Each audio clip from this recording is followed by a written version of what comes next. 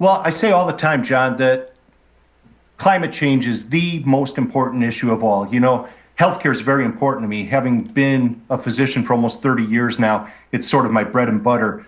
But even it falls short of where climate change is. Climate change is number one, two, three, four, five, six, seven, eight. Climate change dwarfs everything because when we fail to address it appropriately, uh, we're not going to have human civilization anymore. There, there's not going to be other issues to fight about anymore because there's not going to be human beings around to be fighting about healthcare or immigration or tax policy.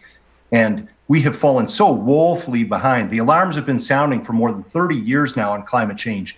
And for us not to be engaged in a fully aggressive green revolution uh, with all available resources is a terrible mistake. And, you know, I have no doubt that if we continue in this direction, our grandchildren are going to be looking back and saying, what the hell were they doing back there in the, the 1990s and the 2000s and the 2010s uh, when they had an opportunity? Because we're, you know, it's almost depressing to talk about. We are just now right about at the point of irreversibility, where even if if now you decide to fully invest yourself in renewables the way that you should have so many decades ago, uh, it it's getting to a point where people like me are going to have to say it might be too late. And so uh, th- this thing has been ignored for far too long, and we've had people playing politics with it for far too long, and uh, it's it's just absolutely shameful. And we need to fully invest ourselves in every available renewable resource, whether that be wind, solar, geothermal, and uh, stop our addiction to fossil fuels because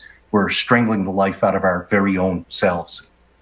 absolutely, and I would imagine that as a doctor, you see the results of that more than most because it ties. Oh yeah, I mean, correct. Yeah, when we see when we have bad days with air pollution, we we have people coming in with COPD exacerbations, asthma attacks, uh, that type of thing, and yeah, it takes it its toll acutely. But you know, my larger concern is over the long term that that there's no one left as far as human beings go.